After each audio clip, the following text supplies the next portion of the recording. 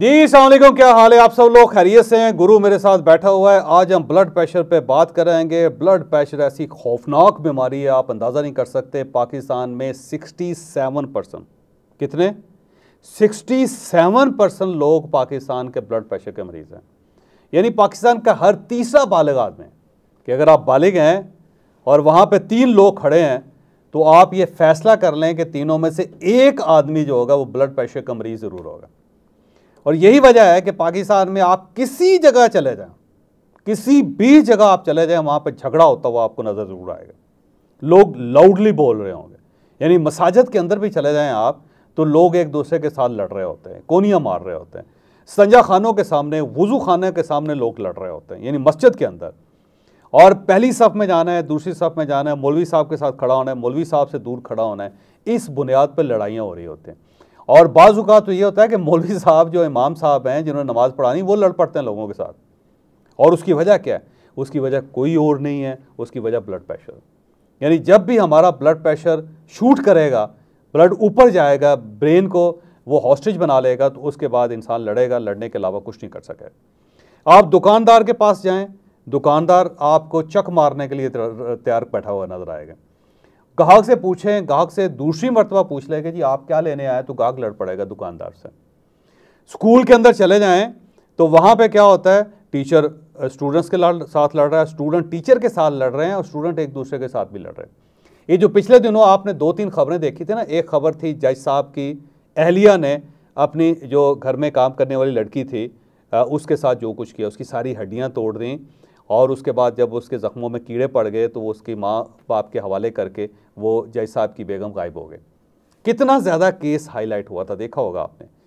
अब अगर आप एनालिसिस करेंगे, उस खातून का तो पता चलेगा ब्लड प्रेशर की मरीज़ है, और उसके अलावा कुछ भी नहीं।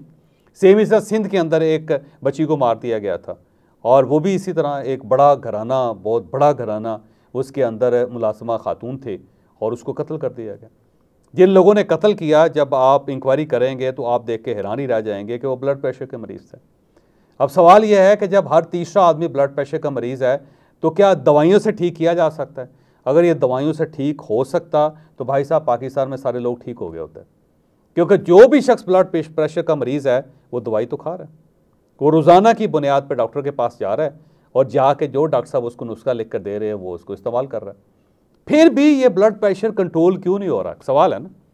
और बड़ा वैलिड सवाल नहीं है कि आप गोली भी खा रहे हैं, टीके भी लगा रहे हैं और फ़ूड के अंदर भी आपने तब्दीलियाँ कर ली हैं। नमक तो बिल्कुल आप इस्तेमाल ही नहीं करते, अंडे भी कहते हैं छोड़ दें, छोड़ दिया आपने।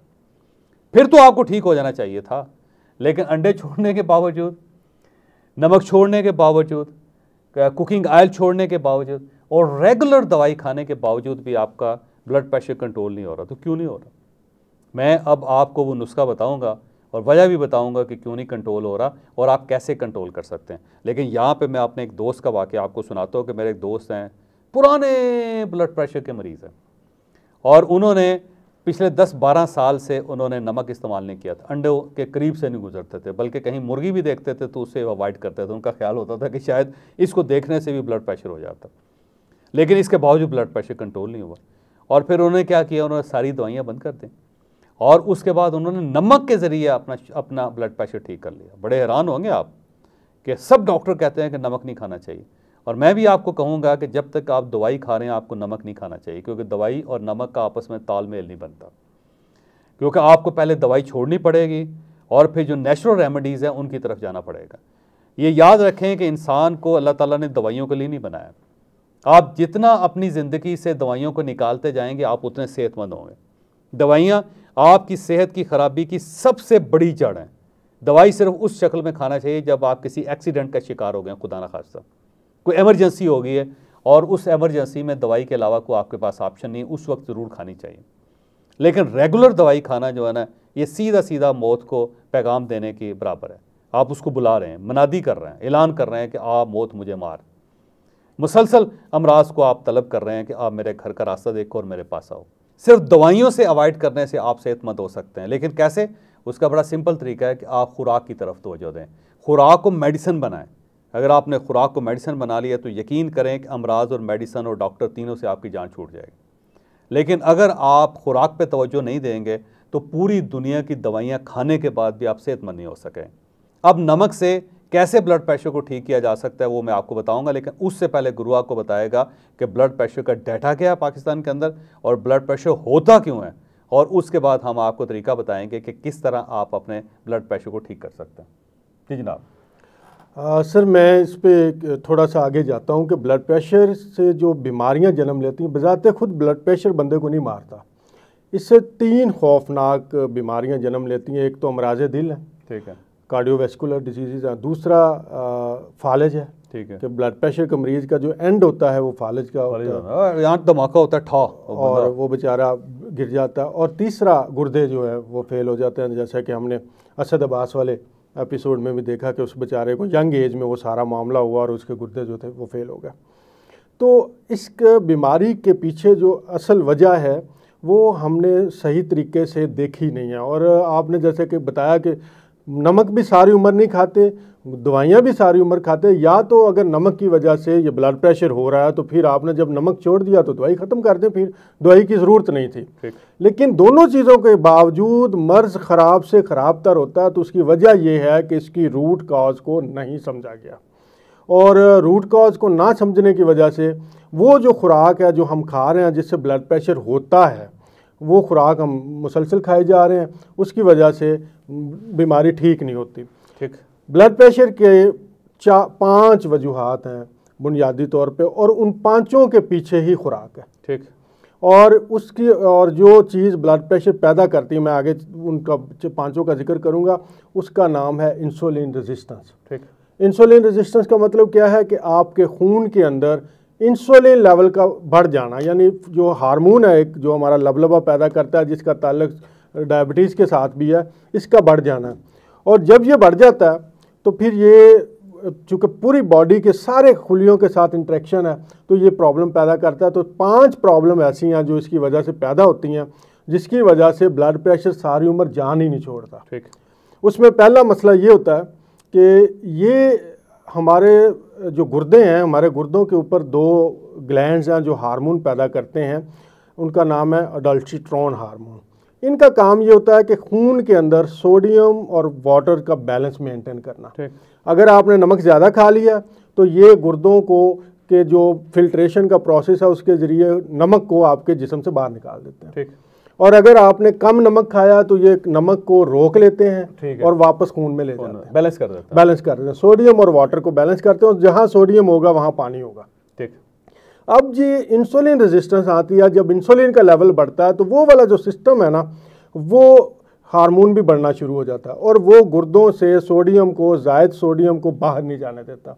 जब सोडियम बाहर नहीं जाता खून से तो होता यह है कि जहाँ सोडियम आएगा वहाँ पानी आएगा। वो पानी आपके खून के अंदर बढ़ता है तो हमारा जो खून का लेवल है जो आमतौर पे पाँच लीटर होना चाहिए पूरे सिस्टम के अंदर वो बढ़ के साढ़े पाँच लीटर पौने छः लीटर पे चला जाता है। तो अब आपके दिल को ज़्यादा काम करना पड़ता है उसको सर्कुलेट करने के लिए। तो और जो खून की नालियाँ हैं दिल की नालियाँ उनके ऊपर जब प्रेशर पड़ता है तो ब्लड प्रेशर हाई हो जाता है। अब इसका अभी तक जो मेडिसन है उसमें यही होता है कि वो यूरिन के ज़रिए ये पानी कम करते हैं और थोड़ा सा ब्लड प्रेशर आपका नीचे आ जाता है। लेकिन चूँकि वजह वहीं पे वो ब्लड प्रेशर फिर वापस आ जाता है। दूसरी वजह ये बनती है कि ये जो इंसुलिन हार्मोन है ना ये एनाबॉलिक हार्मोन है। एनाबॉलिक हार्मोन क्या होता है? जो छोटी चीज़ों को बड़ा करता है। ये जो खून की नालियों की अंदरूनी परत होती है वहाँ पे एक सेल होता है जिन्हें कहते हैं एंडोथेलियल सेल ये चिकने सेल होते हैं ये खून को रवा रखने में मदद देते हैं। ये उनको मोटा करना शुरू कर देते हैं। जब जो इंसुलिन लेवल बढ़ता है तो ये उन सेलों की जो अंदर परत है, उसे मोटा कर देते हैं। जिसकी वजह से खून की नालियाँ अंदर से तंग हो जाती हैं और वहाँ फिर ब्लड जो ब्लड है आपका, वो तेज़ी से गुजरता है तो ब्लड प्रेशर आ जाता है। अब इसका भी नमक से कोई लेना देना नहीं। चौथी वजह ये होती है कि यही जो इंसुलिन रेजिस्टेंस है, हमारा एक सिस्टम होता है जिसे सिंपेथेटिक नर्वस सिस्टम कहते हैं। ठीक है। अब ये सिस्टम क्या करता है कि जब एमरजेंसी होती है ना तो उसके अंदर हमारी बॉडी को वहाँ से भागना है या हम आपने थ्रेट की सूरत में अपना मुकाबला करना है तो ये हम, सिस्टम हमारे ब्लड प्रेशर को बढ़ाता है ताकि आपके जिसम के सारे टिश्यूज तक ऑक्सीजन भी चली जाए और मिनरल जो न्यूट्रिएंट है वो भी चले जाए आपको एनर्जी मिले और आप वहाँ से निकल सकें या आप फाइट कर सकें। इंसुलिन रेजिस्टेंस उस सिस्टम का बटन ऑन किया रखती है। ठीक है। जिसकी वजह से हर वक्त जो है ब्लड प्रेशर आपका बढ़ा रहता है। इसके अलावा एक बड़ी शानदार चीज़ है उसे कहते हैं नाइट्रिक ऑक्साइड नाइट्रिक ऑक्साइड जो है ये हमारी खून की नालियों के अंदर होता है और ये खून की नालियों को खोलता है। ठीक है। इंसुलिन रेजिस्टेंस जब पैदा होती है तो ये सिस्टम भी काम करना छोड़ देता है। अब खून की नालियाँ जब उसे खुलना चाहिए वो खुलती नहीं है वो स्टिफ हो जाती है सख्त हो जाती है और उसमें भी खून तेज़ी से भागता है। और जिसकी वजह से ब्लड प्रेशर का जो है वो मसला रहता है।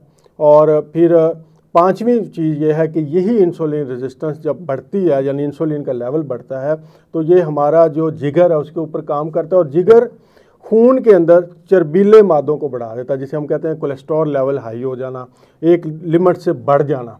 और वो जो डेंजरस कोलेस्ट्रॉल होता है, जिसे एलडीएल कहते हैं, और एलडीएल का पैटर्न भी वो बहुत ज़्यादा बढ़ जाता है और फिर वो नालियों में जमना शुरू हो जाता है। ये पाँच इसबाब हैं ब्लड प्रेशर के। और इनमें से किसी का भी नमक के साथ कोई लेना देना नहीं। और ये सारे जुड़े हुए हैं आपके चीनी ज़्यादा खाने से आपके रिफाइंड और प्रोसेस फ़ूड खाने से। अब मरीज़ चीनी खा रहा है चीनी से बनी चीज़ें खा रहा है और डॉक्टर उसे चीनी मना नहीं करता। वो कहते हैं ब्लड प्रेशर के साथ इसका लोग कोई लेना देना ही नहीं। नमक मना करता नमक मना करता है। अब नमक तो आपकी बॉडी की रिक्वायरमेंट है। अगर हमें हम देखें ना वाइटल एलिमेंट जो आपको ज़िंदा रहने के लिए चाहिए सबसे पहले ऑक्सीजन है। अगर कुछ मिनटों के लिए बंद हो जाए बंदा डेड हो जाएगा। दूसरा वाटर है। ठीक है। तीसरा सोडियम है। ठीक है। चौथा पोटाशियम है। अगर ये नहीं होंगे तो हमारी ज़िंदगी बरकरार नहीं रहेगी। जिस तरह समंदर के पानी के अंदर नमक का तनासब है उसी तरह हमारी बॉडी के अंदर सेम वही तनासब है। तो नमक नहीं बंद करना। और नमक के हवाले से एक चीज़ मैं यहाँ क्लियर कर दूँ ये जो टेबल सॉल्ट है जो बहुत वाइट सॉल्ट है सोडियम क्लोराइड सफ़ेद ये वाक़ता खाने के काबिल नहीं है। आपने जो खाना है वो खेड़ा का पिंक सॉल्ट है जो हमारी pink Himalayan pink Himalayan salt उसमें 84 मिनरल्स होते हैं। और ये जो वाइट है इसमें सिर्फ़ सोडियम और क्लोराइड होता है। तो ये खाने के काबिल नहीं है। वाइट जो है ना फैक्ट्री के अंदर बनता है याद रखिएगा। लेबॉर्ट्री के अंदर बना हुआ आर्टिफिशियल है ये। ये ओरिजिनल नहीं है। और इसका मकसद सिर्फ़ आपको बीमार करना है। और ये आपको सेहतमंद करने के लिए नहीं है। ये बिल्कुल ह्यूमन कंजप्शन के लिए नहीं बना है इंसान के लिए नहीं बना हुआ। इंसान के लिए जो बना हुआ है वो सुर्ख रंग का जो पथरीला नमक है जो खेड़ा से निकलता है वो है।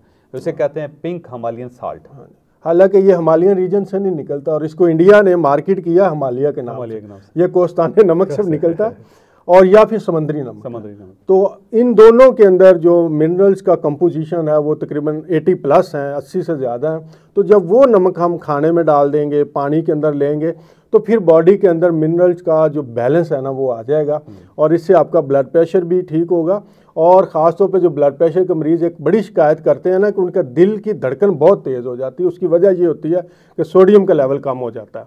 तो नमक कैसे लेना देना नहीं है। असल जो आपका कल्परेट है वो आपकी चीनी है आपकी प्रोसेस फ़ूड है, आपका मैदा है, आपका कुकिंग ऑयल है और इसको जब खाते हैं, इसके साथ जिसम में सूजन भी पैदा होती है, इसके साथ इंसुलिन रेजिस्टेंस भी ख़राब होती है और आहिस्ता आहिस्ता फिर इससे हार्ट के मसले, इसी से आपका फालज का मसला, इसी से गुर्दे फेल और एक पूरी लंबी लाइन है कि इस वक्त जो 90 परसेंट बीमारियाँ हैं, उसकी अगर एक वजह देखें तो वो इंसुलिन रेजिस्टेंस है। बिल्कुल सही।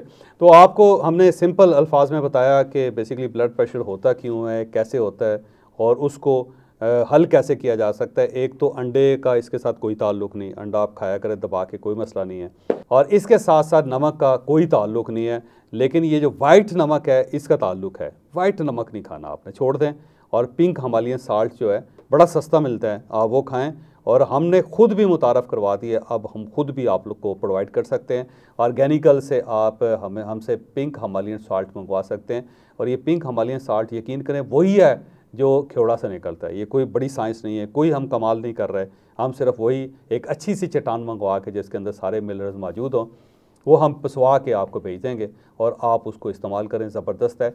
और इसके साथ साथ ऑर्गेनिकल्स जो है, उसकी प्रोडक्ट मैं रोज़ आपको बताता जाता हूँ कि हमने सलाजीत भी इंट्रोड्यूस करवा दी हुई है, आप वो मंगवा सकते हैं हमसे। हमने कुकिंग ऑयल जो उसको रिप्लेस किया है, कोकोनट ऑयल से आप वो हमसे मंगवा सकते हैं। हम देसी घी प्रोवाइड कर रहे हैं, अभी बन रहा है देसी घी। क्योंकि हम फ्रेश बनवा रहे हैं तो आप हमसे वो भी ले सकते हैं। इसके साथ साथ जो हमारा ब्रेकफास्ट है, वो आप इस्तेमाल कर सकते हैं। उसमें तीन वेरिएशंस आ गई हुई हैं ग्रोथ के नाम से बच्चों के लिए और स्टेबल के नाम से मर्दों के लिए, बूढ़ों के लिए। और इसके साथ साथ ख़वातीन के लिए हम पिंक कलर का हमने वो भी बना लिया हुआ है। आप वो भी मंगवा सकते हैं। और उससे पहले आप ये जो हमारा ब्रेकफास्ट है, इसको इस्तेमाल कर सकते हैं और दो टाइम पे सुबह के वक्त इस्तेमाल करें। या फिर आप इसे असर के टाइम इस्तेमाल करें, ये आपकी लाइफ को बदल के रख देगा। आपको किसी किस्म का कोई विटामिन खाने की ज़रूरत नहीं है, कोई आपको फ़ूड सप्लीमेंट लेने की ज़रूरत नहीं है। कंप्लीट, ज़बरदस्त किस्म का फ़ूड सप्लीमेंट है, जिसके अंदर सिर्फ़ मिनरल्स हैं और जिसके अंदर बाकी, वाकई नेचुरल चीज़ें हैं। और इसके साथ साथ हमारा ज़ीरो पेन के नाम से हमने एक आयल मुतारफ़ करवाया किसी भी जगह पे आपके दर्द है, आप यकीन करें दो कतरे लगाएँ थोड़ी सी मालिश करके उसको छोड़ दें, थोड़ी देर बाद दर्द गायब। इवन आपकी इंगजाइटी और टेंशन को ख़त्म कर देता है। अगर आपकी एंगजाइटी है टेंशन है डिप्रेशन है, माथे पे लगाएँ थोड़ी देर, बालों के ऊपर लगाया करें, उससे बड़ा फ़ायदा हो जाता है इसका। आपकी ये जो सर है, उसके अंदर बहुत एनर्जी आ जाएगी। आप वो भी हमसे मंगवा सकते हैं। और इसके साथ साथ कोई और चीज़ अगर आपको चाहिए जहाँ पे आप महसूस करते हैं कि हेल्थ से कोई रिलेटेड चीज़ है तो आप हमसे वो भी मंगवा सकते हैं। और मर्दों की जो वेलनेस है, उसके लिए भी हमने मर्दाना के नाम से एक प्रोडक्ट मुतारफ़ करवाई है। इसके साथ साथ ये जो है मर्दाना लेवल वन की है। और अगर लेवल टू पे आप हैं, आपकी बॉडी को बहुत ज़्यादा किसी स्पोर्ट की ज़रूरत है तो फिर विटामिन के नाम से हमने एक प्रोडक्ट लॉन्च किए और एक लेवल थ्री भी है इसके अंदर जिसको विटेलिटी के नाम से हमने एक चीज़ बताया और ये सिर्फ़ फूड्स हैं। याद रखिएगा ये मेडिसन नहीं है। बिल्कुल मेडिसन नहीं इसमें कोई चीज़ मेडिसन नहीं है। सिर्फ़ और सिर्फ़ फ़ूड रिलेटेड चीज़ें हैं।